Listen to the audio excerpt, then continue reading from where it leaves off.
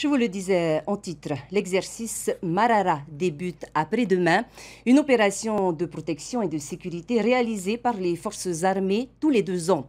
Douze nations du bassin pacifique y participent, telles que le Canada, Singapour, le Pérou ou encore les États-Unis.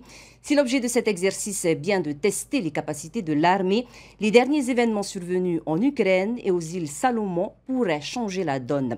Laure Philibert et Esther Parocordet.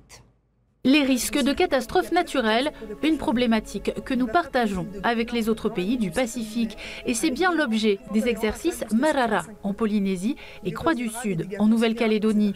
Cyclones, tsunamis, fortes pluies, ces phénomènes caractéristiques des climats tropicaux mobilisent régulièrement les forces armées à la fois pour porter secours aux populations et pour déblayer. Il faut donc s'y préparer.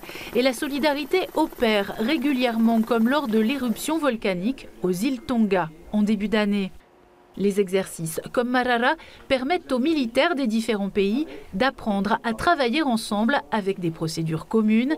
Si cette opération est centrée sur le secours en cas de catastrophe naturelle, les forces armées du Pacifique se retrouvent à d'autres moments pour se préparer à d'éventuels conflits. Ce sera le cas dans quelques semaines à Hawaï, lors du RIMPAC, car l'espace Indo-Pacifique est au cœur de nouveaux enjeux géopolitiques, de nouvelles menaces potentielles également, programme nucléaire de la Corée du Nord, prolifération des armes de destruction massive, piraterie terrorisme. Depuis quelques années, face à la Chine, la France y a redéfini sa politique.